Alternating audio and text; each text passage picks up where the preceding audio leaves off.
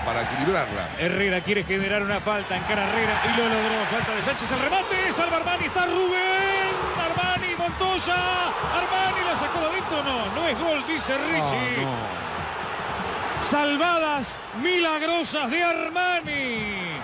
Para verlo mil veces. Chavo.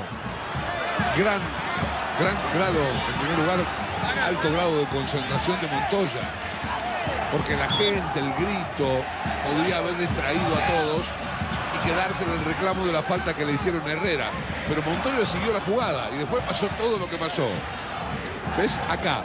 Acá le hace falta Herrera, pero Montoya sigue. Armani le mete la mano como puede. Primero el tiro de Montoya, después al de Rubén y después otra vez al de Montoya. No entró la pelota. ¿eh? No, de ningún modo. ¿Ves? Ahí hay foul. Montoya sigue. Armani hace lo que puede. Primero y después. Y otra vez más. La pelota no entró. La tajada del arquero del Atlético Nacional de Medellín, como diría usted, es épica. Por eso lo quiere River, ¿no? Tremenda tajada, tremenda, puro reflejo. Central estuvo a punto de meter el segundo gol. Otra vez.